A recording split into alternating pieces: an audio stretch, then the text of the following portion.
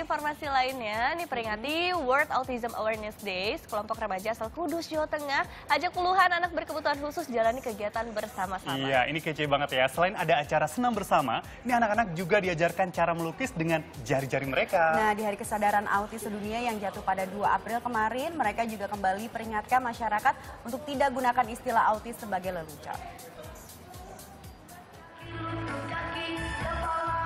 Peringati World Autism Awareness Day yang jatuh pada 2 April kemarin, sejumlah pemuda yang tergabung dalam komunitas terapis anak kebutuhan khusus di Kudus, Jawa Tengah, adakan acara untuk berbagi keceriaan di pendopo Taman Krida Kudus. Untuk mencairkan suasana, sekitar 50 anak penyandang autis dan berkebutuhan khusus lainnya diajak untuk senam dan berjoget bersama.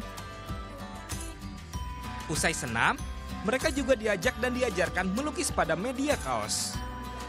Melukis kali ini sengaja tak gunakan kuas. Mereka dibebaskan melukis gunakan jari dan telapak tangan sebagai lambang penolak terhadap tindak perundungan bagi penyandang autis. Meski sederhana, rangkaian peringatan Hari Kesadaran Autis Sedunia di Kudus ini mendapat respon baik. Anak-anak merasa senang dan bisa bersosialisasi dan dapat teman baru. Ini tadi diajarin apa aja deh? Nah, terus? Rasanya gimana deh? Selain melatih anak penyandang autis untuk bisa hidup mandiri dan berbaur di tengah masyarakat, Hari Kesadaran Autis Sedunia juga jadi momentum untuk mengajak semua orang untuk lebih peduli terhadap sesama. Kita hari ini mengambil tema Autism is not a joke. Bahwa hari ini sangat sering kita mendengar eh, teman-teman mengatakan ada yang main HP sendiri dikatakan autis itu sendiri. Jadi autis bukan untuk lelucon.